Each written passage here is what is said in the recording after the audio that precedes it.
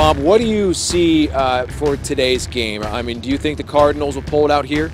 I really do. I mean, they almost have to win here. They don't want to face Zack Greinke again. Greinke will be on regular rest. But I do believe that they close it out. I think it'll be more of a high-scoring game, more like a, a 7 5 type of game. If the Dodgers don't end up coming back and winning this series, what does that mean for LA? I mean, obviously they have the big payroll. What does it mean for that team and that club? Probably be some changes, you know, whether it's Don Mattingly or the general manager Ned Colletti. I think somebody will let you let go. But the bottom line is you have the biggest payroll in baseball history. There's only three pitchers you can count on. You know, Greinke, Kershaw, and the uh, Kenley Jansen, the closer. Uh, speaking of Kershaw, obviously one of the best pitchers in baseball, but the Cardinals seem to do very well against him. Why is that? I don't know. It's almost like now it's a, in their in their head. It's probably in Kershaw's head. It's in the, in the Cardinals' head that they have confidence. That's the one that guy they can hit.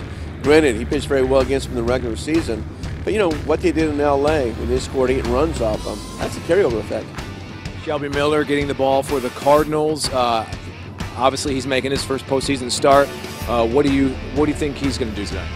I mean, I think he'll be you know very nervous, and uh, but I think he'll pitch well. I think you know if the Dodgers are going to get him, they better get him their early innings. But you know he pitched well in September, uh, really the second half, and the sinker he learned from uh, Masterson and Lackey has really worked wonders for him.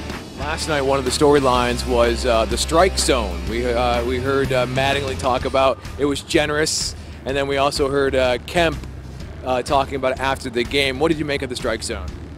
I mean, it was uh, wide, but you know, Kemp went nuts, and I think it's going to hurt Kemp in the long run. Just umpires will remember that. And he was saying how uh, the umpire uh, should be disciplined, how it was a, a, travesty what went on. It was the worst strike zone he's ever seen. So I'm sure there's going to have to be some words said before the game just to kind of calm down the umpires, like, hey, don't be too mad at me. What can you say about the Cardinals? If they get this win, this will be the fourth straight NLCS trip they've made. Uh, uh, what can you say about this club? I mean, come uh, October, they're just a different animal. Reminds you a little bit of the San Francisco Giants.